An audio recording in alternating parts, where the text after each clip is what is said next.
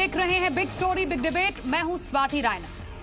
गुजरात चुनाव सिर पर है और कांग्रेस के वरिष्ठ नेता और पूर्व कानून मंत्री कपिल सिब्बल ने अब पार्टी के लिए ही मुसीबत खड़ी कर दी है। एक नया शिगुफा छेड़ दिया है।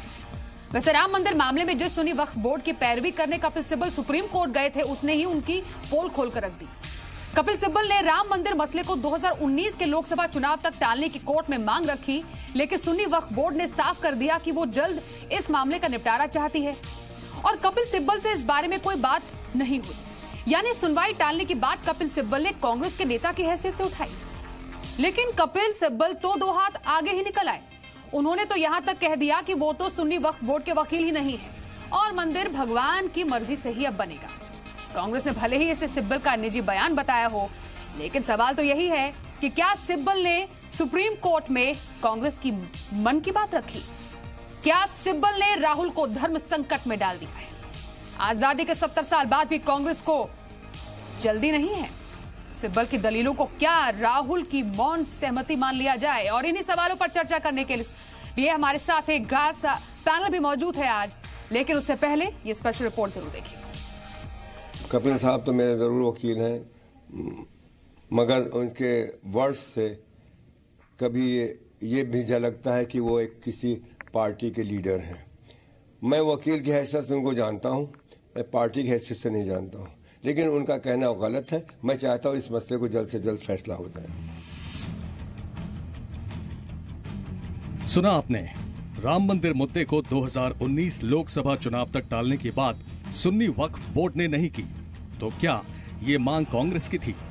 प्रधानमंत्री मोदी ने सवाल खड़ा किया कि राम मंदिर का मुद्दा लोकसभा चुनाव से जोड़कर कैसे देखा जा सकता है? કપિલ સિબ્બલ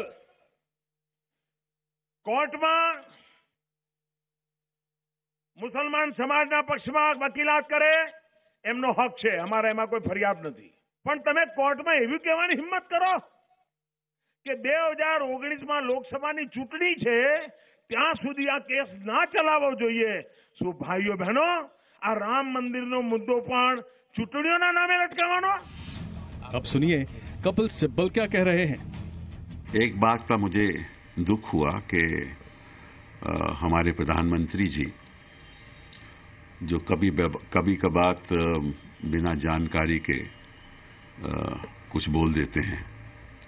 आज उन्होंने और अमित शाह ने सुना है कहा है कि मैं सुन्नी वक्फ बोर्ड का वकील था अ, शायद उनको ये जानकारी नहीं है कि मैं सुन्नी वक्फ बोर्ड का वकील कभी भी नहीं रहा।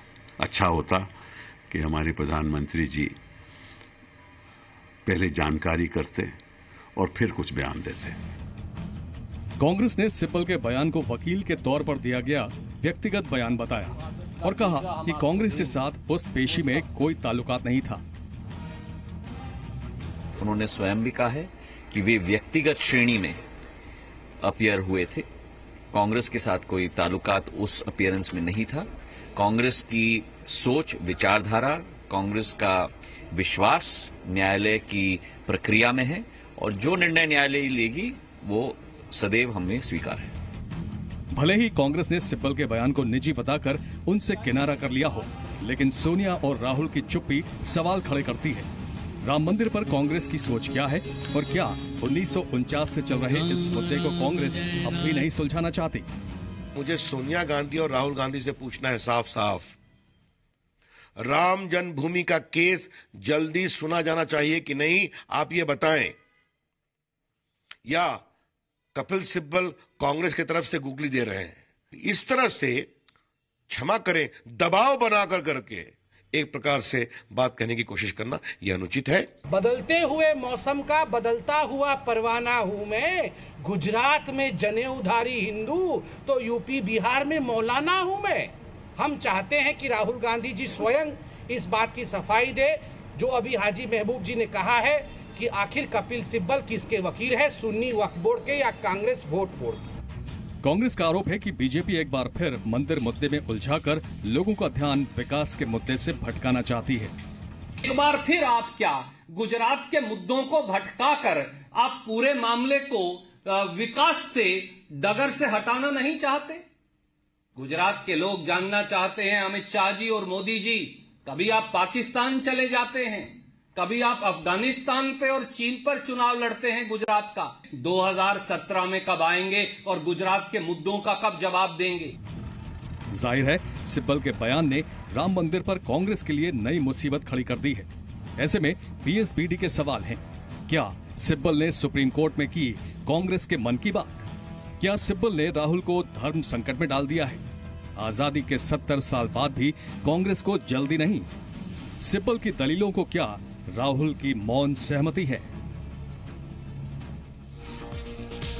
तो कपिल सिब्बल तो कहते हैं कि वो सुन्नी वक्फ बोर्ड के वकील ही नहीं है।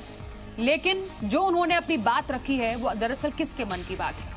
ये समझना बेहद ज़रूरी हो जाता है। चलिए इस चर्चा की शुरुआत करते हैं। और बिग स्टोरी बिग डिबेट में जो इस वक्त खास पैनल हमारे साथ मौजूद है, सबसे पहले परिचय करा दें।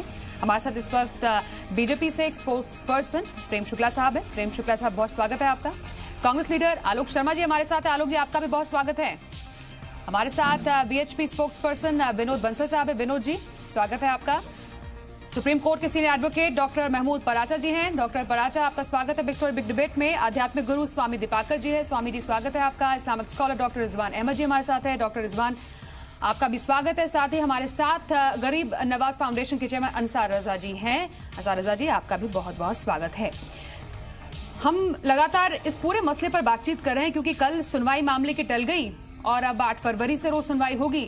लेकिन जिस बयान पर लगातार सबके सवाल उठ रहे थे कि आखिरकार 2019 चुनाव का हवाला देकर कपिल सिब्बल यहाँ पर क्या प्रूव करना चाहते हैं? तो आज उन्होंने तो एक्चुअली गुगली ही खेल दी। उन्होंने कहा कि मैं सुन्नी वक्फ बोर्ड का तो वकील हूँ ही नहीं।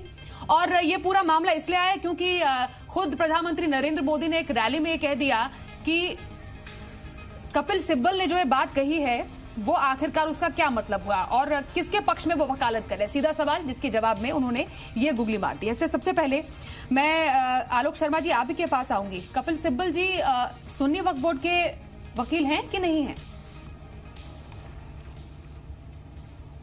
देखिए, मैं समझता हूँ प्रधानमंत्री जिस देश के जो कह रहे हैं, उन्हीं पर विश्वास कर लेते हैं।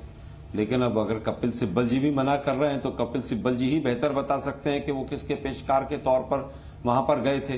कांग्रेस पार्टी ना, उसमें पार्टी है, जितने भी वहाँ पर जो पार्टी लोग हैं उसके अंदर, और ना ही कांग्रेस पार्टी ने उनको भेजा है। एक वकील के तौर पर उन्होंने बयान दिया है अपना तो बेहतर यह है कि वही बता दे फिर आप वो, वो आप तो वहाँ पर किस कह नहीं रहे हैं कि मैं सुनी वक्त लेकिन का अभी तक जो मेरे पास आंकड़े हैं किसके मन की बात रख वो किसके मन की बात रख के कह रहे हैं कि 2019 का जो चुनाव है अगर इस पर सुनवाई होती है तो प्रभावित हो जाएगा। सुन्नी नहीं अभी थोड़ी देर पहले तक सुन्नी वक्फ बोर्ड के तमाम प्रवक्ताओं ने और हाजी महबूब साहब ने भी स्वयं कहा कि वो हमारे वकील हैं। और लेकिन उनको ऐसा कहना चाहिए था ऐसा नहीं कहना चाहिए। लेकिन उन्होंने माना कि वकील है। तो अब उसके बाद बचा क्या है? नहीं लेकिन आप ये तो मानते हैं ना कि कपिल सिब्बल आपकी पार्टी से जुड़े हुए हैं बहुत बड़े नेता रहे हैं पूर्व कानून मंत्री रहे हैं तो अगर वो कुछ कहते हैं तो इसमें पार्टी से कुछ बात सलाह मशवरा होने के बाद ही कहा होगा ना? अब जो अगर वो कह रहे हैं कि वो सुन्नी वक्फ बोर्ड के वकील भी नहीं है तो किस हैसियत से गए होंगे वहाँ पर वो कोर्ट में? देखिए मैं समझता हूँ हो सकता है वकील कोर्ट में जाने के बाद उनके बीच में कोई बातचीत हुई हो। हम्म। लेकिन वहाँ पर जो वकालतनामा है वो तो मेरे विचार से जो मेरा ज्ञान है और मोदी साहब ने भी वही कहा है कि वो सुन्नी वक्फ बोर्ड के वकील के तौर पर गए थे। आज मुद्दा ये नहीं है कि वो किसके पैर उस पर गए थे। कांग्रेस पार्टी का अपना स्टैंड है कि इसकी जल्द से जल्द सुनवाई होनी चाहिए। और ये होना चाहिए। मतलब लेकिन आप मुझे केवल ये बता दीजिए कल सुप्रीम कोर्ट ने जो आठ फरवरी की डेट लगाई है आप उनके किसी भी दलील को नहीं मानते। मेरी बात पूरी हो जाने चाहिए मेरी बात पूरी मेरी बात पूरी हो जाने दीजिए। कल जो डेट आगे गई है आठ फरवरी वो क्यों गई है? क्योंकि केंद्र सरकार ने अपना काम नहीं किया। नहीं नहीं। जो बीस हज़ार पेज का काम होना था वो जो कागजात पेश होने थे वो नहीं हुए। क्योंकि वो सुन्नी वक्फ बोर्ड ने जो पूरे करने थे वो कागजात वो जमा नहीं कर पाए। और दूसरी दलील कपिल सिब्बल साहब ने ये कह दी जो कि जो कि फिर कहूँगा जो कि वो जिसके भी नहीं आलोक आलोक शर्मा जी। केवल ये आलोक शर्मा जी मैं आपको बस दो चीज़ें बता सरकार ने दे दिया है क्योंकि कागजात पर मंदिर बनना चाहिए। और कपिल सिब्बल ने ये दलील दे दी थी कोर्ट में क्योंकि कल तक तो वो सुन्नी वक्फ बोर्ड के वकील थे। उस हैसियत से उन्होंने यहाँ पर ये कह दिया कि 2019 के यहाँ पर चुनाव प्रभावित होंगे। अब ये किसके मन की बात है? आप कह रहे हैं कि हमें नहीं पता किसके मन की बात है। तो आखिरकार किसके मन की बात है प्रेम शुक्ला साहब ये? कपिल सिब्बल तो कहते हैं कि मैं सुन्नी वक्फ बोर्ड का वकील ही नहीं हूँ। और अब जो राम मंदिर है वो बनेगा भगवान भरोसे। मतलब ना सुप्रीम कोर्ट तय करेगी ना हिंदू तय करेंगे ना मुसलमान तय करेंगे ना वक्फ बोर्ड तय करेगा। अब तो भगवान ही तय करेंगे कि राम मंदिर कब बनेगा। मज़ा आ गया। मुझे लगता है कि संभवतः कपिल सिब्बल ये दावा भी कर सकते हैं कि उज्बेकिस्तान में बाबर की कब्र से उन्होंने वकालतनामा लाया है। जब उनको सुन्नी वक्फ बोर्ड ने वकील अपना नहीं तय किया कांग्रेस उनको अपना वकील नहीं मानती है किसी और पक्षकार का भी सामने पक्ष नहीं आया है कि किसके वकील है। तो ये मान लेने में भी कोई बुराई नहीं है कि बाबर स्वप्न में आए होंगे, वकालतनामा पर उनको दे दिया होगा कि साइन कर दो, और वो हाजिर हो गए होंगे। और अब भगवान का नाम ले रहे भगवान का हवाला दे रहे जब भगवान का हवाला दे रहे हैं तो सुप्रीम कोर्ट में तारीख 2019 की टलवाने की बात क्यों कर रहे थे? तब आप जो है, चुनाव का हवाला क्यों दे रहे थे? और क्या चुनाव जो है 2019 में उसके पहले कभी चुनाव ना हुए, ना होने वाले हैं आगे? तो देखिए आपको बेसिक मामला ये है कि आपकी नीतियाँ स्पष्ट हो गई है स्वाति जी, बाहर इस पे मैं मालिकों का मुकदमा सारा बात ही क्लियर कर दूँगा, मुझे बोलने दीजिए एक सेकंड। तो श्रीमती सोनिया गांधी तो आपके पास लेकिन लव जिहाद के मुकदमे में खड़े हो जाएँगे मैं इस पे मुद्दे एकदम के पक्ष में खड़े हो जाएँगे। हाँ। तो तो मुझे ये लगता है कि श्री कपिल सिब्बल जो है हाँ। वहाँ राम मंदिर का भव्य दिव्य निर्माण होने में रोड़ा अटकाने का जो षड्यंत्र रच रहे हैं उसमें उनका कोई न कोई निश्चित तौर पर सियासी ठीक है लेकिन राम मंदिर या इस पूरे विवाद में मतलब अयोध्या विवाद को हल करने के पीछे जल्द से जल्द हल हो जाए इसके पीछे तकलीफ़ किसको हो सकती है? डॉक्टर पराचा जी आप लगातार हमारे साथ इस पूरे मुद्दे पर जुड़ते आ रहे हैं। ये पहले क्लियर कर दीजिए आज जो अचानक से ये अजीब सी कपिल सिब्बल साहब की तरफ़ से बात आ गई। मैं तो सुन्नी वक्फ बोर्ड का वकील हूँ ही नहीं प्राइम मिनिस्टर साहब जी। आपको अपने फैक्ट्स चेक करने चाहिए। और जो उन्होंने कोर्ट में बोला कल वो भी अपने दर्शकों को हम दिखा रहे हैं कि 2019 तक इस मामले को टाल दिया जाए। आखिरकार किसकी दलील समझी जाए जो कपिल सिब्बल साहब कह रहे हैं? मैं मैं मैं फैक्ट्स ही फैक्ट्स पे ही बताना चाहूँगा Swati ji. Sunni central Waqf board UP की सिविल अपील सुप्रीम कोर्ट में नंबर है इकतालीस बानवे ऑफ़ 2011 कपिल सिब्बल साहब कल जब पेश हुए तो वो इन सिविल अपील्स में पेश हुए हैं। दो आठ नौ चार सात दो दो छ और चार एक नौ दो इकतालीस बानवे। तो जो तथ्य बताते हैं उनकी हाजिरी बताती है वो साफ़ बताती है कि वो सुन्नी सेंट्रल वक्फ बोर्ड की तरफ़ से पेश हुए हैं जो कि यूपी सरकार जो माननीय योगी जी जिसके चीफ मिनिस्टर हैं उसकी तरफ़ से पेश हुए हैं। और माननीय मोदी जी के निर्देश पर ही उन्होंने जो स्टेटमेंट दी होगी तो वो एक वकील की मजबूरी होती है देना कि ये चुनाव जो है चुनाव के बाद हो इसका फैसला ताकि मतलब कपिल सिब्बल साहब 2019 अब में वकील होने के तौर पर प्रधानमंत्री और उत्तर प्रदेश के मुख्यमंत्री की बात सुनेंगे।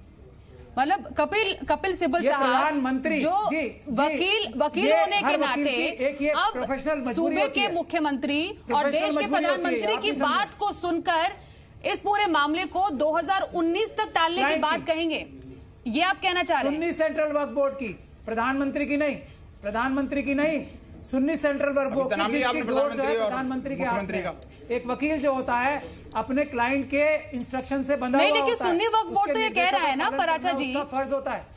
पराचा जी सुन्नी वक्फ बोर्ड तो कह रहा है ना कि हम मामले की जल्द से जल्द निपटारा चाहते हैं तो उनके ही जो वकील हैं वो क्या अपने अपने पक्ष की बात नहीं सुनते हैं? अपने पक्ष की बात नहीं मान रहे हैं? ये दोनों में इतना। विरोधाभास क्यों है? कपिल सिब्बल जी एक बहुत नहीं ये कभी नहीं हो सकता। ये कभी नहीं हो सकता। क्योंकि कपिल सिब्बल जी एक बहुत ही सीनियर वकील हैं वो वही बोलेंगे जो उनका क्लाइंट बोलेगा। उसके खिलाफ कभी नहीं बोल सकते ये तो client तो कुछ और बोल रहा है, कुछ और कह रहा है। पराचा जी पराचा जी आप सीनियर सीनियर सीनियर एडवोकेट हैं। ये- ये आप सीनियर एडवोकेट हैं आप सीनियर एडवोकेट हैं। यहाँ पर हाजी महबूब साहब नहीं, हम सुनवा भी पलट सकते गया है। अपनी बात से। कोई भी क्लाइंट ने दोपहर में कहा कि ऐसा है आपको सुनवा भी सकते हैं कि हाजी महबूब साहब ने क्या बोला। हाजी महबूब साहब ने क्या बोला? कि कपिल सिब्बल हमारे वकील तो हैं लेकिन वो एक पार्टी से भी जुड़े हुए हैं। जी हाजी महबूब साहब ने एक स्टेटमेंट और दे दी है। वो दे दो आप दे दो? जी। बताओ बताओ सी स्टेटमेंट दोपहर वाली से पलट गए हैं शायद आप तक नहीं नहीं लेकिन कपिल सिब्बल यहाँ पर किसको रिप्रेजेंट कर रहे हैं फिर?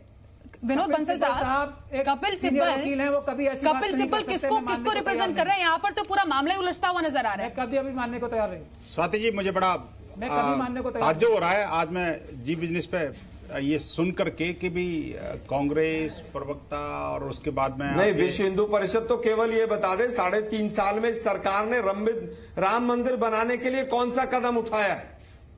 क्या पार्लियामेंट में एक कदम चले? क्या विश्व हिंदू परिषद के माध्यम से आलोक कोई शर्मा जी आपसे शुरुआत में मैंने ये पूछा था कि क्या न्यायालय में एक भी चिट्ठी लगाई ने जो कहा है कि हम इसमें जल्दी से जल्दी है इसकी उसका जवाब तो आपने दिया नहीं। इसमें आपके सुनवाई हो बारे में मैंने जो सवाल तो पूछा विश्व उसका हिंदू जवाब परिषद तो तो आपने दिया शांति बैठी नहीं रहे। अब मैं जब दूसरे से सवाल पूछ रही हूँ आप बीच में बोल रहे हैं हम आपके पास फिर से वापस मैंने आएँगे। दिया उत्तर बिल्कुल पूरी क्या तरह उत्तर से दिया उत्तर दिया मैंने।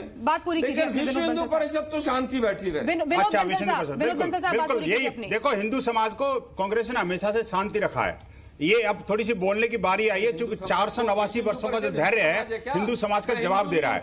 आज देखिए देखिए साठ साल की कानून लड़ाई के बाद में जो तीस सितंबर दो हज़ार दस को निर्णय आया था उसको भी सात साल हो गए। अरे आलोक जी एक एक दिन गिन रहे हैं हम एक एक दिन छाती पर पत्थर रख करके और आपके नेता हैं कि वो बार बार कानून की दुआई देते हैं और कानून से भाग जाते हैं। कमाल की बात है। आप छाती अरे शर्म करो शर्म करो शर्म करो। कांग्रेस का कांग्रेस का कांग्रेस का जो पाप का घड़ा है वो भर चुका। BSP आलोक जी अब आप अब आप शांत रहिए। मैंने बहुत सुन लिया। मैंने बहुत सुन लिया।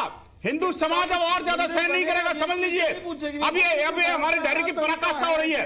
अभी देखिए हमने पहले ही कहा था स्वाति जी कि ये ये लोग जो है ना ये तो लोग सामने आने आलोक जी आलोक जी इसका ये तो म्यूट करना पड़ेगा आलोक जी को देखिए।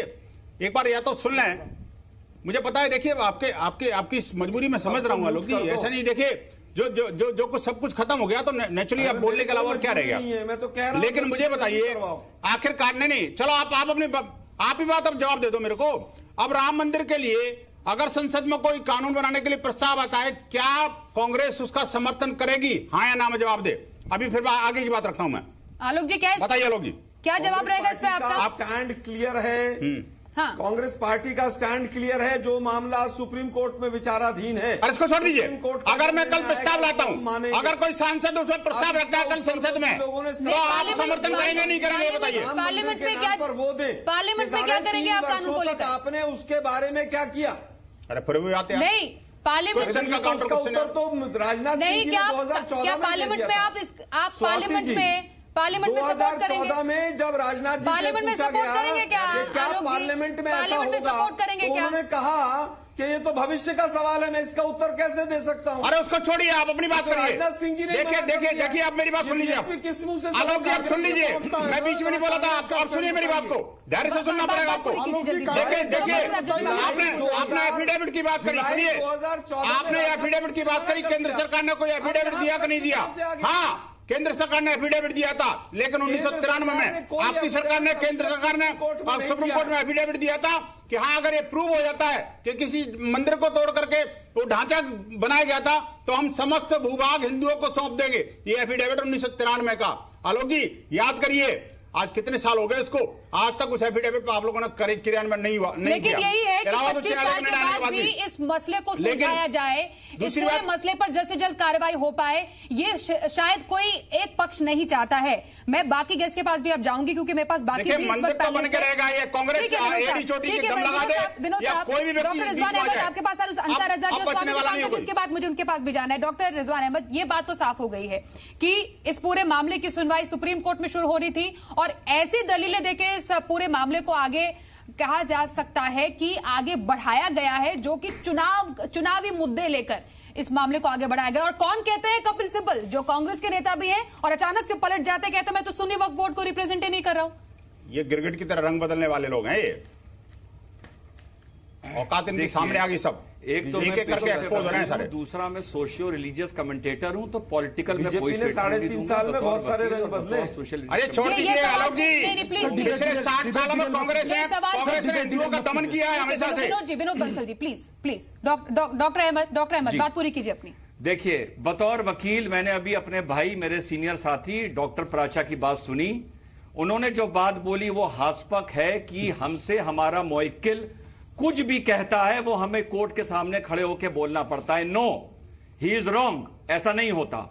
जब मुझसे मेरा कोई मोइक्किल, कोई अपनी अपनी राय रखता है तो मैं न्यायालय के सामने जो न्याय हित की बात होती है, प्रोसीजर के हित की बात होती है, और जस्टिस की बात होती है, वो रखता हूँ। मैं आँख और अपनी अकल बंद करके अपने क्लाइंट की नहीं सुनता।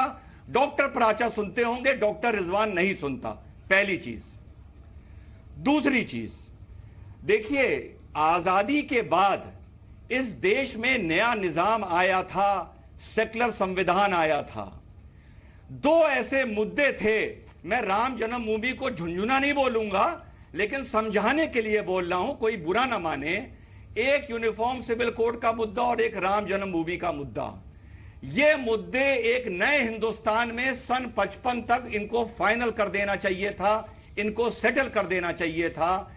लेकिन कांग्रेस ने अपीजमेंट की राजनीति के चलते इन दोनों झुंझुनों को अलग रखा और आज तक ये देश को डिस्टर्ब कर रहे हैं और देश में बज रहे हैं और देश में एक खराब माहौल इन दोनों वजहों से बना हुआ है। ठीक है बहुत राम मंदिर। बहुत बड़ी बात कही आपने डॉक्टर पराचा। बहुत बड़ी बात कही आपने लेकिन लेकिन जिससे पहले जिससे माफ़ कीजिए डॉक्टर अहमद क्योंकि मैं बाकी पैनलिस्ट के पास भी जाऊँगी एक छोटा सा सवाल मेरा डॉक्टर पराचा जी से है।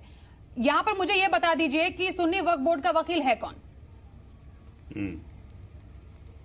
कपिल ये जो कागजात बता रहे हैं जो हाजिरी बता रही है सुप्रीम कोर्ट की उससे तो कपिल सिब्बल साहब हैं। बता रहे हैं। ये मैं अपनी तरफ़ से नहीं नहीं बोल रहा कपिल सिब्बल तो कह रहे हैं कि खुद कपिल सिब्बल साहब कह रहे हैं पराचा जी। अरे वो तो झूठे है ना झूठ है, साबित हो ठीक है, गई ये झूठ एक्सपोज मैं होगी कांग्रेस की। के पास जाऊँगी। कांग्रेस अब चारों तरफ़ से नंगी हो चुकी है विनोद बंसल जी एक मिनट। अब मैं अंसार अजहर जी के पास जाऊँगी। अंसार अजहर साहब?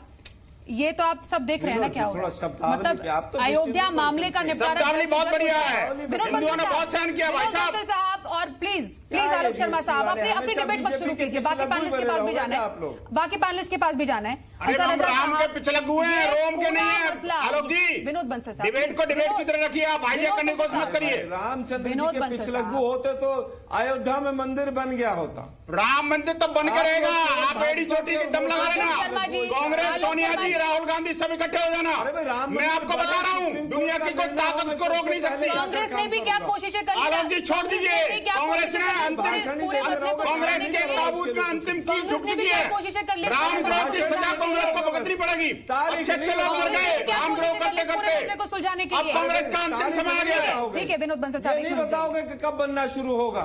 बता देंगे आपको। तो आपने तो मिर्ची लग आपने रही तो है। अपने वरिष्ठ नेता हमने है तो बताया हैं तभी तो आपको मिर्ची लग रही है तो हमने बता दिया तभी तो कोर्ट में जाकर के कह रहे हो कि नहीं बनना चाहिए। हमने डेट बता दी इसलिए तो आप कह रहे हो कि कोर्ट में नहीं बनना चाहिए। आखिरकार क्या होगा था आपकी? मुझे बताइए सुप्रीम कोर्ट में जाकर के आप कहते हैं कि उन्नीस में ये होगा और ये होगा। लॉ एंड ऑर्डर की सिचुएशन क्या? कपिल सिब्बल को देखनी है सरकार को देखनी है भाई। आखिरकार तीन जज की बेंच सुनेगी पाँच जज की बेंच सुनेगी क्या ये सरकार देखेगी? ये ये कपिल सिब्बल तय करेंगे? ये सुप्रीम कोर्ट तय करेगा? नहीं लेकिन आज जो बयान नहीं आज जो कपिल सिब्बल का बयान आया उसमें तो ये कह रहे हैं क्या बयान है भगवान इनका इनके बयान का कोई लोगों से डिबेट करें, ऐसे डिबेट नहीं हो पाएगा। आप करवाइए लोगों से डिबेट। लड्डू वो है लोटे। आप इन्हीं लोगों से करवाइए डिबेट, ज़्यादा बेहतर रहेगा। अंसार अजहर साहब अंसार अजहर साहब। भगवान भरोसे अब ये पूरा मुद्दा चला गया है क्योंकि जिस जो पैरवी करे सुनी वक्फ बोर्ड की वो तो कह रहे हैं कि भाई मैं तो रिप्रेजेंट ही नहीं कर रहा हूँ। स्वाति जी देखिए ऐसा है किसी को क्या गरज सोचे तुझे नीचा दिखाने को? तेरे अमाल काफ़ी हैं तेरी हस्ती मिटाने को। आज तीन बयानों पर पूरे हिंदुस्तान में चर्चा हो रही चूँकि बीजेपी के लिए भुनाने का मुद्दा है ये। ज़ाहिर सी बात है चार अड़तालीस घंटे के बाद चुनाव होने वाले तो ज़ाहिर सी बात है वोटों पर फ़र्क पड़ेगा। और कपिल सिब्बत जैसे लोग जब तक इस दुनिया में इस, हिंदुस्तान में हैं तो कांग्रेस का पतन बिल्कुल समझ लीजिए, वो सरयाने पे रखा हुआ है। इसमें कोई शक की गुंजाइश नहीं है। वो जैसे उसके लिए बीज बो रहे हैं। उन्होंने सुपारी ले रखी है उसको बर्बाद करने के लिए। अभी कपिल सिब्बल का बयान आपने दिखाया। इससे पहले हम एक चैनल पर थे उसी वक्त बयान आया उनका कि मैं सुन्नी वक्फ बोर्ड का वकील नहीं हूँ, प्राइम मिनिस्टर पर उन्होंने तंज किया है। चूँकि प्राइम मिनिस्टर ने एक इशारा दिया है आज की स्पीच में तो उन्होंने बाकायदा तौर पर यह कहा कि प्राइम मिनिस्टर को यह अच्छी तरीके से याद होना चाहिए कि मैं सुन्नी वक्फ बोर्ड का वकील नहीं हूँ। तो मैं अब वो होते कब ये तो आलोक शर्मा तो हाथ खड़े कर देंगे। फिर कपिल सिब्बल साहब को किसने इजाज़त दी थी कोर्ट में खड़े होने की? किस हैसियत से आप वहाँ गए थे? कौन है आप? वो तो डॉक्टर पराचा भी इसका जवाब नहीं दे रहे हैं। वो उन्होंने तो एक पन्ना दिखा दिया। उन्होंने हमें पन्ना पन्ना- दिखा दिया कि हमें साहब ना पन्ना देखना ना छतरपुर देखना है। बोर्ड का कोई रिप्रेजेंटेशन कर रहे हैं। एक तो डॉक्यूमेंट बात तो बात पूरी करेंगे। मैं- अंसार मैं साहब बात ठीक है ना? अब जहाँ तक सवाल कोर्ट का है सबसे बड़े शर्म की बात आज ये हुई है कि दुनिया का कौन सा ऐसा वकील है जो केस को उलझाए? ये पहला वकील देखा हमने भारत का। जहाँ फैसले की बात आ रही है, पूरे हिंदुस्तान के 125 करोड़ लोग चाहते हैं कि फैसला हो जाए, चाहे जिसके हक में आए, मंदिर के हक में आए, मस्जिद के हक में आए, जो भी आए। लेकिन ये आदमी जाके वहाँ ये कह रहा है कि रही साहब, वो तारीख बढ़ा दीजिए। आप इसका मतलब है कि कहीं ना कहीं से कपिल सिब्बल किसी के हाथों में खेल रहे हैं वो। अब चाहे कांग्रेस के हाथों में खेल रहे हो या प्रेम शुक्ला जी के हाथ में खेल रहे हो मैं ये नहीं कह सकता। लेकिन गेम कहीं से हो रहा है वरना कपिल सिब्बल कभी छोटा मोटा बयान देंगे। मतलब मुद्दा ऐसा बयान देंगे? मुद्दा आस्था का है मुद्दा यहाँ तो पर एक विवादित जन्मभूमि का है एक मिनट एक मिनट? विवादित जन्मभूमि का है लेकिन यहाँ पर वकालत की आड़ में सियासत की जा रही है। ये साफ़ है स्वामी दीपाकर जी? आज मैम मैं आई कम इन आज जिस तरह की ये घटना और घटनाक्रम हुआ, स्वाति, मैं इससे आश्चर्यचकित हूँ और सोच ये रहा हूँ कि कैसी ये दलील है कि सिब्बल साहब नेता हैं या वकील हैं। ये अपने आप में यक्ष प्रश्न है और मुझे इस बात से वो बात याद आ जाती है पी चिदम्बरम की कि देश राम भरोसे चल रहा है और आज का ये वक्तव्य कि बोले, अब मंदिर राम ही बनाएँगे। इसमें कोई दो मत नहीं है कि मंदिर राम ही बनाएँगे और राम ही चाहेंगे कि मंदिर बहुत जल्द बनेगा। जैसा कि विनोद भाई ने भी कहा। मगर मैं ये नहीं समझ पा रहा कि 18 दिन महाभारत चला था और करोड़ों लोग मारे गए थे। भाई साहब, आप लोगों की सियासत रामधारी सिंह दिनकर की वो बात मुझे याद आती है कि वही लोग गुनहगार नहीं है जिन्होंने गुनाह किया। गुनहगार वो भी हैं जो तटस्थ और मौन रहे आप किस तरह से देख रहे हैं? महाभारत में करोड़ों लोग मारे गए थे। अब तक इस कार्य में तीन लाख से ज़्यादा कार सेवक लोग मारे जा चुके हैं। आप कितनी लाशों पर सियासत करेंगे? और आपको मालूम है कि बहुसंख्यक लोगों की आस्था का केंद्र है राम मंदिर। आप उस राम मंदिर पर अब आलोक भाई कभी तारीख मत पूछिएगा। जो एक व्यंग करते थे ना कि मंदिर कब बनाएँगे, तारीख नहीं बताएँगे, लोगों को लड़वाएँगे, तारीख नहीं बताएँगे। अब तारीख कभी मत पूछिएगा, क्योंकि जो कल कांड हुआ है, वो तारीख पूछने का अधिकार खो चुके हैं कि 19 में इसकी सुनवाई शुरू कीजिए। आप लोग आस्था का पैमाना छलकने की आप कोशिश करवा रहे हैं? आप चाहते हैं कि हिंदू का आस्था का और जो भाव है, वो छलक जाए? ये बहुत अशोभनीय है निंदनीय है सिर्फ़ एक हिंदू के लिए नहीं ठीक है। समूचे हिंदुस्तान के आलो लिए। आलोक शर्मा जी से जवाब लेते हैं। आलोक शर्मा जी इसका जवाब दो से पहले मेरे भी दो पॉइंट्स है। यहाँ पर जो रिजवान साहब है वो कह रहे हैं कि कांग्रेस अपीजमेंट कर रही है और हमेशा से उसका यही स्टांस रहा है। वहाँ पर मौलाना रजा रजा साहब भी कह रहे हैं कि दरअसल कपिल सिब्बल ने तो सुपारी ले रखी है कांग्रेस पार्टी को बर्बाद करने की। मतलब आपकी जो अपनी पार्टी है वो ऐसे ऐसे हरकतें कर रही है जिससे कि बार बार आपको जवाब देना पड़ रहा है और मज़ाक का पात्र बनना पड़ रहा है।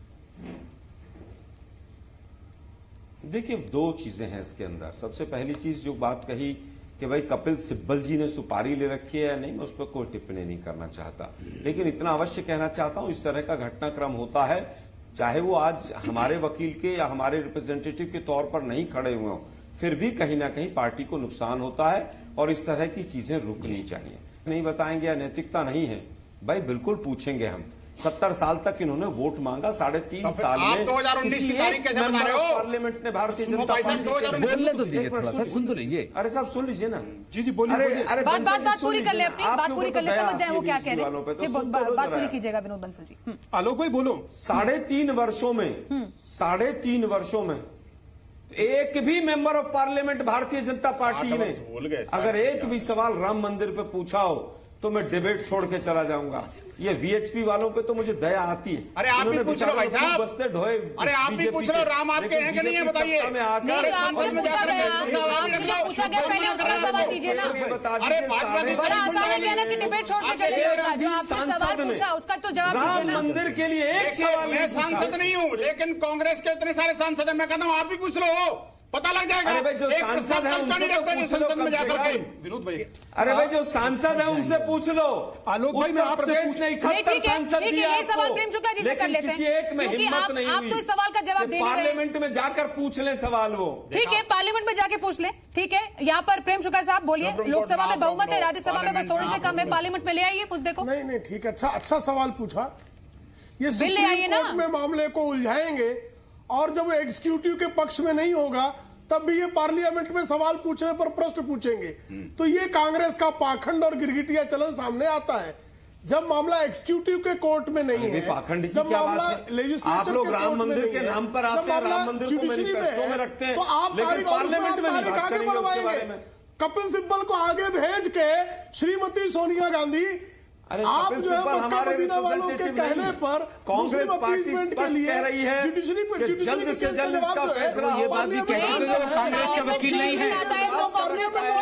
वनवास समाप्त कांग्रेस सपोर्ट करेगी क्या? मिलता है। संसदीय कानून का क्या हुआ? आलोक शर्मा जी कांग्रेस सपोर्ट करेगी क्या? ये कहाँ से आप लेजिस्लेचर सीख के आए हैं? कौन सा सपोर्ट करेगी क्या स्पष्ट मत है। कि हम सुप्रीम कोर्ट कौन न्यायालय के फैसले को मांगेंगे। कपिल सिब्बल और कपिल सिब्बल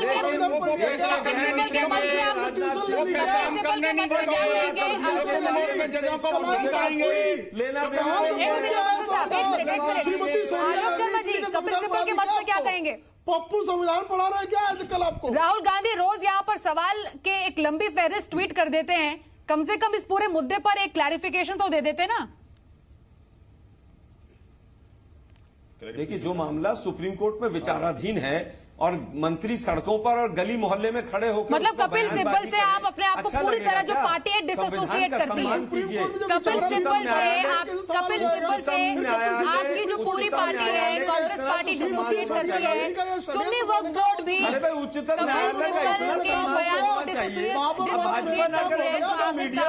कपिल सिब्बल साहब जो है कपिल सिब्बल साहब जो है वो किस हैसियत से गए थे? यहाँ पर किस हैसियत से गए थे? यहाँ पर जिन्होंने कह दिया कि दो हज़ार उन्नीस में के नाम की कसम खाना बंद मतलब कपिल सिब्बल को किस बात की चिंता सता रही है आलोक शर्मा जी? यहाँ पर कि 2019 के जो चुनाव प्रभावित होंगे गए वोट का ये मत तो नहीं हो सकता किसी पार्टी का ही मत हो सकता है। हो गई।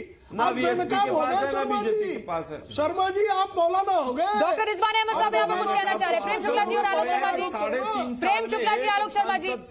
इतनी हिम्मत नहीं हुई कि वो जाकर आलोक शर्मा जी आप मेरी बात का जवाब तो दे नहीं रहे कपिल सिब्बल कपिल सिब्बल कपिल सिब्बल से डिसोसिएट करते हैं ना? कपिल सिब्बल ने है। डॉक्टर रिजवान अहमद।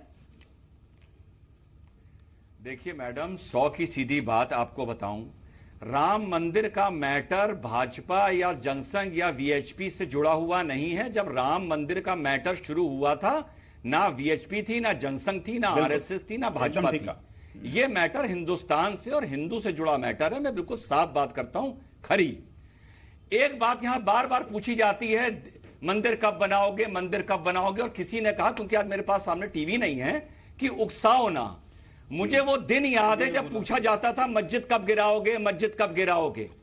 एक लाख हिंदुओं ने हाथों से मस्जिद के ईटे नोच नोच के मस्जिद गिराई ही दी। मस्जिद मत तो उकसाने वाली बात जो करते हैं। करेक्ट कर लिए। माननीय उच्च न्यायालय के निर्णय की अवेलना हो जाएगी वो ढांचा था। अरे चलिए साहब ढांचा था चलिए ढांचा था मैं इन चक्रों में नहीं पड़ता चलिए ढांचा था चलिए ढांचा था खत्म करिए। उस ढांचे के पत्थर नोच नोच के गिरा दिए। मैं अपने मुसलमान भाइयों से यह कहना चाहता हूँ कि अभी अंसार भाई ने बोला कि सुप्रीम कोर्ट का जजमेंट आएगा जो भी आएगा सबको मान्य होगा।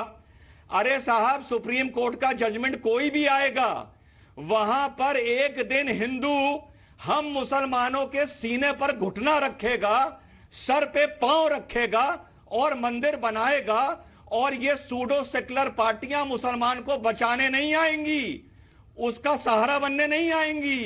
अकलमंदी इसी में है कि समझौता कर लो मस्जिद किनारे कर दो और वहाँ पर मंदिर बनने दो और बगल में मस्जिद बनने दो। वरना भविष्य में हमारी नस्लों का बहुत नुकसान ऑलरेडी है क्या राम जन्मभूमि मंदिर मस्जिद का जवाब नहीं दिया जाता। नहीं वो तो समझौते की बात कर रहे हैं वो कह रहे हैं कि ऐसे होगा। वो ए, मतलब पच्चीस साल से समझौता नहीं इनके कहने से समझौता हो जाएगा। नहीं समझौता का का भाई? जन्मभूमि राम की राम का मंदिर बनेगा उसमें क्या दिक्कत है? समझौता कोई मतलब ही नहीं है समझौता नहीं है जन्मभूमि राम की है हमारे लिए संपूर्ण भूमि जो है पूजनीय है। और क्या आप कर रहे हैं। नहीं नहीं कोर्ट में कोई आप दूसरे को सिखा रहे थे ना? और कोर्ट के निर्णय आप कर रहे हैं। भैया कोर्ट से कोई लेना देना है ही नहीं इस मामले का। मतलब कोर्ट की कोई वैल्यू नहीं आपके सामने। कोर्ट से कोई लेना देना कोई वैल्यू नहीं आपके सामने। राम जन्मभूमि है। कोर्ट की कोई वैल्यू नहीं आपके सामने। है रामलला विराजमान है। माननीय कोर्ट को मानते हैं कि नहीं? निर्णय दे दिया। आप कोर्ट को मानते हैं कि नहीं? तीस सितंबर दो हज़ार दस को जो निर्णय तो दिया क्या मुकदमा चल रहा है फिर? अरे आप पढ़िए दो हम क्या पढ़े? मतलब मौलाना साहब मतलब पूरे हिंदुस्तान के जो पागल खा लीजिए। विश्व हिंदू परिषद जो 1400 करोड़ रुपया खा गया उसे सब पता है। चौदह लड़िए सर प्लीज़ मत अरे लड़िए मत। सर। क्या बात कर रहे हैं? सर लड़िए मत। अरे हिंदू महासभा कर रहे। हैं भैया हम नहीं बोले हिंदू महासभा। विनोद बंसल जी अंसार साहब जमा मस्जिद नहीं वहाँ पर कुछ भी बोल रहे आतंकवादियों की भाषा मत बोलो। ये आतंक की भाषा मत अंसार रजा साहब अंसार रजा साहब। साहब जी न्यूज़। टीवी चैनल हमारे पूरे हिंदुस्तान बराबर है। टीवी चैनल पर बोल रहे हो? बोल रहा हूँ। कहना सीखिए राम बोल रहा हूँ कि हिंदू महासभा ने कहा है कि देखिए, हिंदू बाबर से परिषद। गई देखिए बाबर से मुसलमानों को मत जोड़िए। आज के मुद्दे पे वापस लौटेंगे दीपांकर जी दीपांकर जी विनोद बंसल साहब। आपके पूर्वज हैं। राम जन्म पर मंदिर बनना चाहिए। आप राम बाबर वाह वाह हमारे नाम सुनिए ना यार, विनोद बंसल जी विनोद बंसल जी विनोद बंसल जी। हैं। विनोद बंसल जी एक मिनट एक मिनट। समय समय बहुत कम है समय कम है समय बहुत कम है समय बहुत कम है कम है। सर प्लीज़ विनोद बंसल जी विनोद बंसल विनोद बंसल जी विनोद बंसल जी अभी पूरा मामला कोर्ट में विचाराधीन है बीएचपी का आगे क्या स्टैंड रहने वाला है? बीएचपी का क्या स्टैंड रहने वाला है? तो आप उड़ा रहे हो। हमने ऐसा कह दिया। देख लेना नहीं क्योंकि यहाँ पर एक मिनट आखिरी सवाल होगा आपसे विनोद बंसल साहब विनोद बंसल साहब मेरे सवाल का जवाब दीजिए ना सर प्लीज़ 2019 से इस पूरे मामले को आगे बढ़ाने की बात की जा रही है। आपको लगता है इस पूरे मामले को लटकाने की कोशिश की जा रही है उससे पहले निपटारा हो जाएगा? नहीं विश्व हिंदू परिषद कोर्ट से बड़ी नहीं है। नहीं पूरा षडयंत्र है स्वाति जी। मैं बड़ा स्पष्ट तौर पर कह रहा हूँ संतों ने एक दशक पहले ही तय कर दिया था इस मामले का एकमेव हल है संसदीय कानून। क्योंकि हमें पता था। कितने बार बात की आपने प्राइम मिनिस्टर से? बोलेंगे नहीं आप। कितने बार बात की आपने प्राइम मिनिस्टर से ये बताइए? आप- नहीं नहीं आप तो बताइए साढ़े आतंकवाद तीन। साल में कितने मतलब चैनल पर आतंकवाद मत फैलाइए। लीजिए साहब। थोड़ा सा मेरे को सवाल मैं- मैं जवाब मेरे से सवाल किया मैं जवाब दूँगा नहीं आप आपके जवाब आपके पास पे आते हैं आपकी बात में मुझे तब देखिए सभ्यता नहीं आ रही बात आपको। पूरी करने कह रहा दीजिए। 2019 से देखिए, पहले इस- देखिए। ये कह रहे कि षड्यंत्र है। ये इनका अपना अपने अपना विचार है। जैसे कपिल सिब्बल का अपना विचार है वैसे अपना विचार सामने रख बात पूरी कीजिए उसके बाद दीपाकर जी के पास जाना है। हमारा बिल्कुल स्पष्ट मत है कि दशकों पूर्व तय हो गया था संसदीय कानून के माध्यम से इसका हल। निकलेगा। और उन्नीस सौ नवासी में भाजपा ने भी अपने आ, अपने पालमपुर अधिवेशन में बाकायदा रेजोल्यूशन पारित किया था। उसमें यही कहा था संसदीय कानून एकमात्र इसका हल है। और दूसरी बात ये मैंने पहले भी कहा था कि माननीय सुप्रीम कोर्ट की आज्ञा की अवहेलना करेंगे ये लोग और नहीं उसको डराने धमकाने और किसी को इन्फ्लुएंस करने की कोशिश करेंगे। आज वही हुआ। पहले ही दिन की सुनवाई में उन्होंने ये किया कि नहीं साहब हम तीन जज तीन जजों की बेंच पे हम नहीं सुनवाई करेंगे। हम जो है ना ये इस डेट को नहीं करेंगे। हम ऐसे नहीं करेंगे हम वैसे नहीं करेंगे। आप मुझे बताइए कोर्ट ने जो डेट दी थी सबको ट्रांसलेशन करके लाने की दी थी नहीं दी थी? रामलाल विराजमान की तरफ़ से सारे पेजेस कोर्ट ने ये भी कह दिया है कि आठ फरवरी से कि सुनवाई होगी नो मैटर व्हाट तो वो कोर्ट समझेगा। ठीक है विनोद बंसल साहब बहुत बहुत शुक्रिया आप हमारे साथ जुड़े क्योंकि आपको कहीं पर कहीं पर निकलना भी है। बहुत बहुत शुक्रिया अपने विचार रखने के लिए। यहाँ पर स्वामी दीपांकर जी। स्वामी दीपांकर जी आपको लगता है इस पूरे मामले को उलझाने की कोशिश की जा रही है सियासत में? और 2019 से मामला और भी ज़्यादा लटके इसकी कोशिश पूरी की जा रही है। ये कोशिश नहीं है स्वाति बिल्कुल यक्ष प्रश्न यही है जो आपने उठाया। तो मैं इसको कहूँगा कि प्रत्यक्षम किम प्रमाणम? प्रत्यक्ष को किसी प्रमाण की ज़रूरत नहीं होती और ये तो प्रत्यक्ष दिख रहा है कि साफ़ कहते हैं कि आप 19-15 जुलाई से इसको शुरू कीजिए। मैं बिल्कुल आपकी बात से इतफाक रखते हुए मुझे मगर मुझे दुख होता है ये सोच करके कि 1855 में निर्मोही अखाड़ा के दिल पर क्या बीतती होगी जब आप कहते हैं कि आप इसको 19 जुलाई से 15 जुलाई से 2019 से शुरू कीजिए। मगर मैं एक सवाल मैं अंसार अंसार भाई से पूछना चाहेंगे। अंसार भाई बड़े प्रिय भी हैं हमारे। मैं अंसार भाई से पूछना चाहता हूँ। अंसार भाई बाबर को आप लोग क्या मानते हैं? आक्रांता मानते हैं या कुछ और? देखिए साहब मैं बता एक शब्द में बताइए, एक ही शब्द में बाबर से हमारा कोई रिश्ता नहीं। अब आगे का सवाल सुनिए। बाबर से आपका कोई रिश्ता नहीं है जो इंसान ज़मीन लूट कर खसोट कर वहाँ पर ढांचा खड़ा करे। क्या इस्लाम में लिखा है वहाँ पर मस्जिद बने? मैं क्या कह रहा हूँ आपसे? हमारा बाबर से कोई लेना देना नहीं है। तो बाबर की बनाई हमारा मकसद मस्जिद से, ढांचे से- हमारा मतलब मस्जिद से है। आप जिसे मस्जिद हमारे यहाँ एक मरतबा मस्जिद। जहाँ तामीर हो जाती है हम उसको मस्जिद मानते हैं। आप जिसे मस्जिद कह रहे हैं सुप्रीम कोर्ट ने उसने इलाहाबाद हाई कोर्ट ने उसको विवादित ढांचा कहा हमने इनकार तो नहीं किया। अच्छा ये बताइए आपका जन्म कहाँ का है सर? नहीं देखिए हमारे जन्म को आप छोड़िए। नहीं नहीं सर मुझे नहीं, उत्तर। चाहिए सर। आप यहाँ उत्तर मत दीजिए। आप जन्मभूमि आप जो सवाल हमसे कर रहे हैं वो सवाल आपको बीजेपी से करना चाहिए। सर अपनी जन्मभूमि जवाब बदल सकते हैं? सुन तो नहीं बदल जन्मभूमि तो सर राम की कैसे? हिंदुस्तान के मुसलमान ने कहा कि राम का जन्म वहाँ नहीं हुआ है? आप बताइए मुझे। आपको मालूम हमसे क्या सवाल कर रहे हैं? सर उसी मुसलमान की बता रहा हूँ जिसने कहा है कि राम का जन्म लाहौर में हुआ। किसने? अयोध्या में एक बुक किसी ने बुक लिखा है। पता आपको? अरे सर पता नहीं पता तो नहीं कहाँ से एक तो आप लोग पकड़ पकड़ के ऐसे लोगों को लेके आते हो कि पता नहीं क्या क्या बोल करके लोग चले जाते हैं और पूरे हाँ। हिंदुस्तान में हमारे लोग नहीं है। विवादित ढांचा तो है ना मौलाना साहब विवादित ढांचा है। मैम देखिए विवादित ढांचा है ये और आर्कियोलॉजिकल सर्वे ऑफ़ इंडिया ने भी वहाँ पर मंदिर के अंश पाए हम उसे मस्जिद कहेंगे। इससे ज़्यादा मैं और कुछ नहीं कह सकता आपसे। आपको जो कहना है वो आप कहिए मैं मस्जिद कहूँगा। कोर्ट का जो फैसला आएगा वो माना जाएगा लेकिन हम उसको अभी मस्जिद कहेंगे। लेकिन यही परेशानी है किसी के नाम की बात नहीं करते मामले को किसके नाम से जुड़े किसके नाम से नहीं। यहाँ पर ये कहा जा रहा है कि इसमें सियासत हो रही है। प्रेम शुक्ला साहब प्रेम शुक्ला साहब प्रेम शुक्ला साहब की बात को नहीं मानेंगे प्रेम शुक्ला साहब ये बात बताइए। ये तय हो गया इलाहाबाद हाईकोर्ट जिसको ढांचा कहता है उसको मस्जिद कह रहे हैं। सर। ये सुप्रीम कोर्ट की बात भी नहीं मानेंगे बिल्कुल हम मानेंगे बिल्कुल मानेंगे। ढांचे को बिल्कुल मानेंगे। सर सुप्रीम कोर्ट ने तो बहुत कुछ कहा है कितना आपने माना है सर। सुन नहीं नहीं एक ही बात को लेकर आप बैठे प्रेम शुक्ला जी। इलाहाबाद हाईकोर्ट ने माना कि जो सैंक्टम सेंटोरम है वाला गुंबद इलाहाबाद हाईकोर्ट ने तीन हिस्सों में ज़मीन बांटी है मंदिर का गर्भगृह के ऊपर इलाहाबाद हाईकोर्ट ने सर ज़मीन बांटी है। पलटा नहीं है। मंदिर और तो मस्जिद नहीं बांटे। इलाहाबाद हाईकोर्ट ने ज़मीन को बांटा है। ज़मीन को तीन तो हिस्सों में बांट दिया। नहीं लेकिन मुझे ये बात बताइए ये बात तो बताइए। मुझे बात बताइए प्रेम शुक्ला साहब।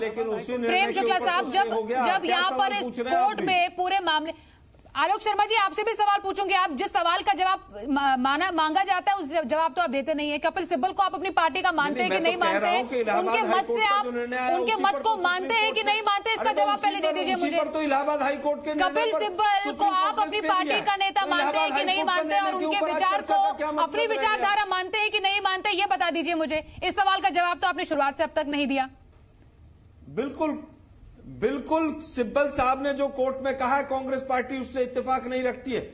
आधिकारिक बयान दे रहा हूँ जल्द से जल्द सुनवाई हो जल्द से जल्द निर्णय हो और जो बीजेपी है रामचंद्र जी मतलब कपिल सिब्बल ने जो आप लोगों को मुसीबत में डाल दिया है इनका उसके लिए क्या सोच रही है पार्टी? समझता हूँ कि बिल्कुल ये वनवास समाप्त होना चाहिए। प्रेम भाई प्रेम भाई प्रेम भाई। प्रेम भैया स्वामी दीपांकर बोल रहे हैं और आपसे एक निवेदन करना चाहते हैं। जी बिज़नेस के माध्यम से सर सरदार पटेल ने हाथ में संकल्प लिया था समंदर किनारे खड़े होकर वहाँ भव्य सोमनाथ मंदिर का निर्माण हुआ। सर लाइए कानून और बनाइए राम मंदिर सर। इस तरीके से राम कब तक त्रिपाल के नीचे रहेंगे? प्रेम भैया। जवाब दीजिए प्रेम शुक्ला साहब। नहीं वहाँ रामलला रामलला का मन वहाँ रामलला का मंदिर स्वामी जी है वहाँ पूजा अर्चना हो रही है। भव्य दिव्य मंदिर का निर्माण भारतीय जनता पार्टी के नेतृत्व वाली नरेंद्र मोदी जी के नेतृत्व वाली सरकार के कार्यकाल में ही संविधान की मर्यादा में निश्चित तौर पर बनेगा। मैं पूरी उम्मीद करता हूँ मैं पूरी उम्मीद करता हूँ और नहीं नहीं समूचा हिंदुस्तान उम्मीद करता है कि 2019 के चुनाव से पहले आप राम मंदिर का निर्माण करवाएँगे। प्रेम भाई मैं ऐसी आशा में राम मंदिर का निर्माण होगा। लेकिन साल में कुछ नहीं किया। दीपांकर जी उम्मीद छोड़ दीजिए अब इनसे। अब तो आलोक भाई आपसे कैसे रख लू? पीवी नरसिम्हा राव कह रहे थे मस्जिद बनवाऊँगा। बात जवाब दीजिए आलोक शर्मा जी। तो तो पार्टी का स्टैंड तो अब तक क्लियर नहीं किया पार्टी का स्टैंड तो क्लियर नहीं किया अब तक। दे दिया। नरसिम्हा राव या कांग्रेस का स्टैंड तो अब तक क्लियर किया नहीं। ऊपर नहीं है। राहुल गांधी कुछ आकर बोलते नहीं है नहीं किया जा सकता वो तो ये भी कह रहे थे वहाँ पर। वो तो ये भी कह रहे थे कि बर्तन टूटने देंगे हम। रामलला के तोड़ दी थी उन्होंने। आरती शुरू करवाई। तो वो नरसिम्हा राव भाई ने बात नहीं बताई। आपकी बात से सौ फ़ीसदी तो आलोक भाई सौ फ़ीसदी इतफाक रखता हूँ की राजीव गांधी ने वहाँ पर ताला खुलवाकर पूजा प्रारंभ करवाई थी। सीने से कहिए ना आप लोग जाकर मगर मगर मैं राहुल के मौन पर आश्चर्यचकित हूँ। जवाब दे तो बनती है कांग्रेस के आलोक शर्मा जी। मामला विचार जवाब दे तो बनती है ना। केवल जवाब दे तो बनती है ना कांग्रेस की? कपिल कपिल सिब्बल साहब को ऐसे डिसोन कर देंगे क्या? कपिल सिब्बल साहब को ऐसे डिसोन कर देगी क्या पार्टी? केवल लफाज लफाजी कर सकते हैं। नहीं आलोक शर्मा जी कपिल सिब्बल साहब को ऐसे डिसोन कर देगी क्या पार्टी? तारीख इसलिए पूछी जाती है बोर्ड के तौर पर अगर नहीं वकील के तौर पर नहीं बोलते हैं तो, तो किस तौर पर बोलते हैं सवाल का जवाब नवंबर में बन जाएगा। यूपी के चुनाव के बाद बन जाएगा इसलिए तारीख तो नहीं मुझे आलोक शर्मा जी बात बताइए। 2019 2019 के बाद इस मामले का निपटारा होना चाहिए कि उससे पहले हो जाना चाहिए आलोक शर्मा साहब। कपिल सिब्बल जी कहते हैं कि 2019 के बाद होना चाहिए।, चाहिए। अब मुझे पता नहीं वो किस हैसियत से बोलते हैं। आप कांग्रेस पार्टी की तरफ़ से बोल दीजिए कि इस मसले का निपटारा 2019 के बाद होना चाहिए कि पहले हो जाना चाहिए। आलोक शर्मा जी जवाब देंगे थोड़ा सुन लू क्या कह रहे हैं। जी आलोक शर्मा जी कांग्रेस पार्टी चाहती है की जल्द ऐसी जल्द निपटारा हो। जल्द से जल्द कल शाम मंदिर का निर्माण हो कहिए ना। से पहले। मंदिर का निर्माण हो कहिए तो जरा। कुछ। मंदिर का निर्माण हो जरा कहिए मामले में आपको हिसाब मांगने लगेगा। ठीक है डॉक्टर पराचा मैं एक डॉक्टर जाकिर भाई चंदे चाटने वालों जरा हिम्मत करके कौन मंदिर का निर्माण जी जी अंसार रजा साहब बात नहीं करें क्योंकि वो कहीं जाने पे डॉक्टर पर आके आपके पास आ रही हूँ और डॉक्टर अहमद भी कुछ कहना चाहते हैं बात बात पूरी कीजिए क्यों हिम्मत नहीं बटोरती? वहाँ मंदिर निर्माण की बात कर रहे साढ़े तीन साल में आप लोगों ने क्या किया? वो नहीं बता रहे आप लोग। डॉक्टर नाइक के चंदा खाने वालों मैं सिर्फ़ एक बात कहना चाहता हूँ। आलोक शर्मा जी आप बहुत विद्वान आदमी हैं। शुक्ला साहब बात सुन लीजिए आलोक जी बात जरा सुन लीजिए बात पूरी कीजिए अपनी। आलोक शर्मा जी आलोक शर्मा जी आलोक शर्मा जी। जाकिर नाइक का चंदा खाने वालों आतंकवादियों से चंदा खाने वालों थोड़ा तो शर्म कर लो हिंदू होने का। प्रेम शुक्ला साहब लेकिन ये बात तो है ना कि बीजेपी को भी इस पूरे मुद्दे को बुनाने का तो मौका मिल गया। बीजेपी को भी इस पूरे मुद्दे को तो बुनाने का मौका तो मिल ही गया। मतलब थोड़े समय के बाद ही अब गुजरात में चुनाव होने जा रहे हैं। तो पार्टी को भी इस पूरे मुद्दे को बुलाने का मौका तो मिल ही गया। देखिए सियासत तो सियासत तो हो रही है इस पूरे मसले पर। ये कोई भी पार्टी डिनाई कर नहीं सकती है।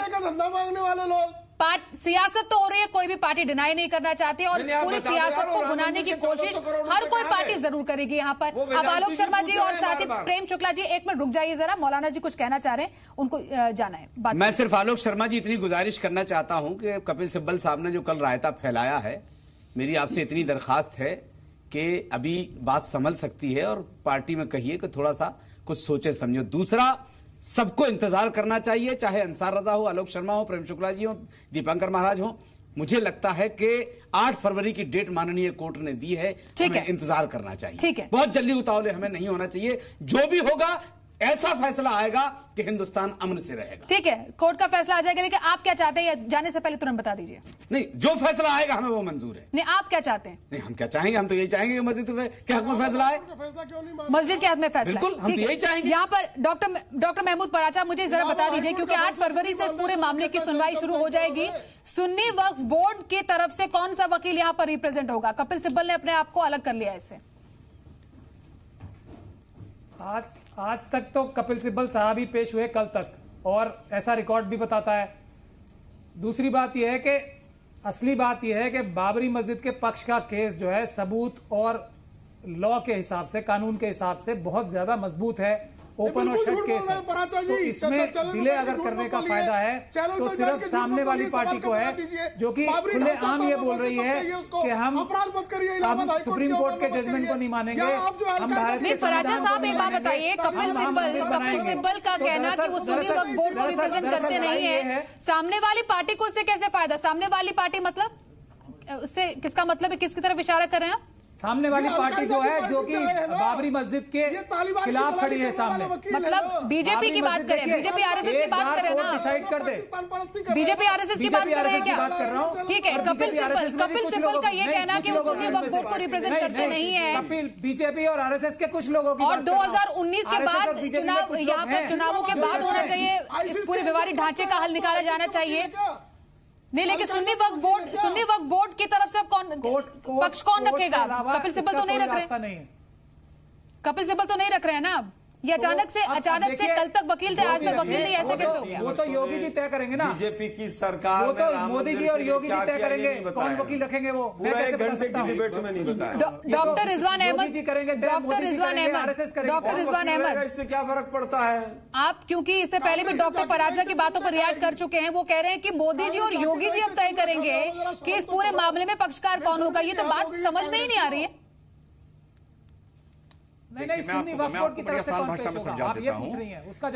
देखिए सुप्रीम कोर्ट की दो मिनट में आप लोग को देख नहीं पा रहा हूँ आज।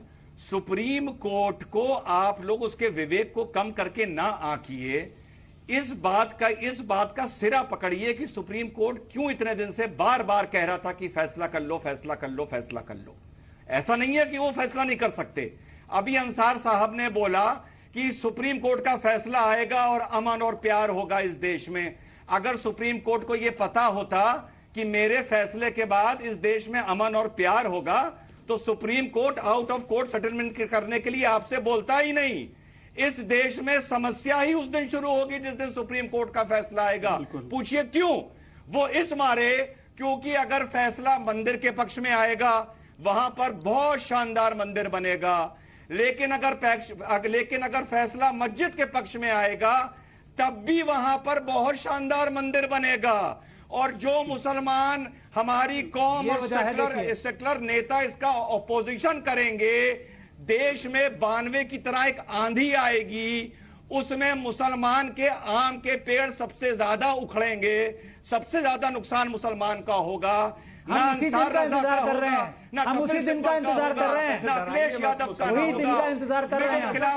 का हिंदुस्तान के मुसलमान तैयार हैं। यही हैं हिंदुस्तान के मुसलमान तैयार हैं। का ठीक है, ठीक है, डॉक्टर विकास नहीं, आप ऐसे डराइए मत। और ये देश हिंदू ये काम तो बीजेपी करती है, आप हैं। दीपाकर जी इसका जवाब देना हम चाहे लोग दीपाकर तैयार जी इसका जवाब तो देना आरएसएस की भाषा बोल आप रहे हैं इंतज़ार किस बात का कर रहे हैं आज कीजिए ये काम बेसिक हमारे देश में प्रॉब्लम आज क्या शुरू है? कीजिए ना ये काम आप। हमारे देश में प्रॉब्लम क्या है? पार्टियों के साथ कि अगर जो कोई कोई काम कुछ भी बोलना चाहता है हैं, आप या तो लेफ़्ट विंग कर देंगे या राइट मुझे विंग कोई काम नहीं करना। वो तो इन्होंने टीवी पर बुलाया मैंने आके अपनी राय दे दी कल को ये नहीं बुलाएँगे मैं नहीं आऊँगा नहीं बोलूँगा। गिराना शुरू मुझे कुछ नहीं करना है। रिजवान भाई रिजवान भाई। मुझे कुछ नहीं करना है। अरे तुम्हारे कितने पेड़ गिर चुके हैं तुम्हें पता है? रिजवान भाई। पता है कि तुम्हारी कौम कहाँ खड़ी है? तुमको पता है कि तुम्हारी कौम नाले में है? तुमको एहसास है इस बात का? रिजवान भाई। आप किस बात का इंतज़ार कर रहे हैं? सर मेरे ख्याल से इंतज़ार किस बात का है? रिजवान भाई। आज ही सर जी। पराचा जी और सबको मैं पैनलिस्ट को बता दूँ कि जब हम ये अभी डिस्कशन कर रहे हैं तो अभी हमें भूकंप के झटके भी महसूस हो रहे हैं। हमें भी हुए अभी। ये भूकंप अभी थोड़ी अभी जिस वक्त अभी हम बात कर रहे हैं नहीं वाकई में पराचा जी इस वक्त भूकंप के झटके महसूस हो रहे हैं। जो भी लोग इस वक्त हमारे साथ जुड़े हुए हैं टेलीविज़न सेट्स पर लाइव हम आपको बताएँ कि भूकंप के झटके महसूस किए गए हैं और अभी भी लगातार जब हम स्टूडियो में बैठे हुए हैं अब से कुछ आधा मिनट पहले मैं कह सकती हूँ कि 30 से 40 सेकंड पहले भूकंप के झटके महसूस हुए हैं। इसके डिटेल्स हम आपको बाइट के टाइम पर आए होंगे मेरी बाइट के टाइम पर। नहीं लेकिन ये नहीं लेकिन ये गंभीर गंभीर है क्योंकि इसमें और डिटेल्स है, अवेटेड है। डिटेल्स अवेटेड है कि इस पूरे मसले पर ये इस प्रकार से भारत के देखिए, दिल्ली एनसीआर में भूकंप के तेज- देखिए, यहाँ पर इस- न्याय व्यवस्था की धज्जियाँ पराचा जी एक मिनट यहाँ पर तो यहाँ पर ज़रूरी जानकारी दर्शकों को देनी है। दिल्ली एनसीआर में भूकंप के तेज झटके महसूस किए गए हैं। और अभी अब से कुछ देर पहले हमने भूकंप के झटके महसूस किए हैं और डिटेल्स अवेटेड है रिक्टर स्केल पर क्या पैमाना है और धीरे करके हम धीरे धीरे करके इस पूरे यहाँ पर डेफिनेटली आपको दर्शकों को जानकारी देंगे। लेकिन इस पूरे मामले पर सियासत तो हो रही है आलोक शर्मा जी। एक बात और। अभी तक आपने बताया नहीं कि कांग्रेस का स्टैंड क्या है कपिल सिब्बल को वो इस पूरे मामले से अलग कर रही है। हाँ या ना में जवाब दे दीजिए बस। देखिए मैं समझता हूँ कांग्रेस कपिल सिब्बल की राय कांग्रेस पार्टी की राय नहीं है ये बता दीजिए हाँ कि ना।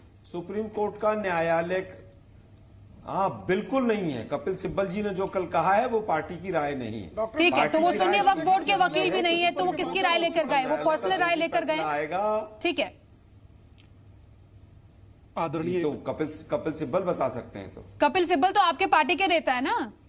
तो मतलब पार्टी को ही पता नहीं चल रहा है कि उनके बड़े नेता किस तरीके के बयान दे रहे हैं। तो पार्टी में तो बहुत बहुत लोग हैं। तो मतलब आपके जो पार्टी के बड़े नेता तो हैं पूर्व कानून मंत्री हैं। अफजल गुरु के आप वही नहीं, नहीं नहीं, आप वही नहीं जानते हैं कि दरअसल वो किस तरीके के बयान दे रहे हैं। अफजल गुरु के वकील थे। ठीक है, ठीक है। अरुण जेटली भोपाल गैस त्रासी के वकील थे। देखिए इस पूरे मामले तो अब ये साफ़ हो गया है। इस पूरे मामले में तो ये साफ़ हो गया है कि ये जो पूरा मसला है पूरा मसला है इसको राजनीति में भुनाने की पूरी कोशिश की जा रही है और लगातार कोशिश हो रही है। और आने वाले चुनावों में भी इसका फ़ायदा चाहे बीजेपी हो चाहे कांग्रेस हो इसने पूरे सभी पार्टियों ने इसका फ़ायदा भी पूरी तरीके से उठाया है। लेकिन हाँ ये तो साफ़ हो गया है कि कपिल सिब्बल ने अपने जो विचार आज व्यक्त किए वो सियासत के तौर पर किए थे या फिर एज अ वकील पेश किए थे। ये आज साफ़ हो चुका है। फ़िलहाल इस डिस्कशन में इतना ही।